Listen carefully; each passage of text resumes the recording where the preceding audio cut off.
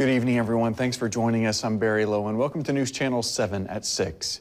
Students across the United States are getting ready to kick off their spring break festivities. Panama City Beach has been known to be a hotspot for spring breakers.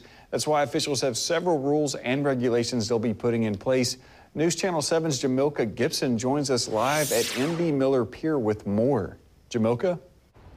Barry, several plans are in place to make sure that people not only have a fun spring break, but a safe one too. As thousands of people prepare to flock to the Emerald Coast for spring break, local law enforcement is gearing up. The goal is to come down here, uh, make great memories, and not leave with a criminal record.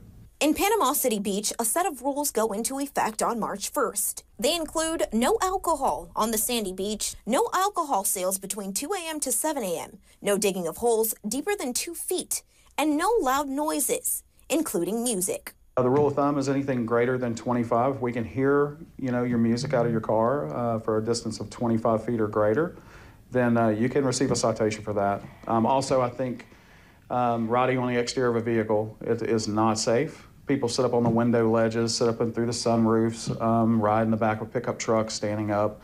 Um, you're not allowed to do any of that. To ensure these rules are being followed, officials say they're beefing up staffing and heavily patrolling problem areas like Front Beach Road. We hire officers all uh, over this county and throughout the state. They come and they fill in the gaps and they work side by side with us and we deploy them in areas where we expect to see maybe large amounts of traffic congestion or um, pedestrian gathering. Officials also have a message for parents to help protect their children. When you come down to the beach, capture a picture of them and their swimwear, uh, you know, what they look like that day.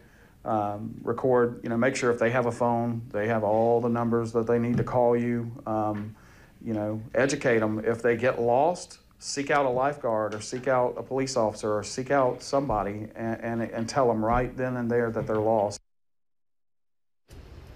Once again, these rules go into effect on March 1st. Live in Panama City Beach, Jamilka Gibson, News Channel 7.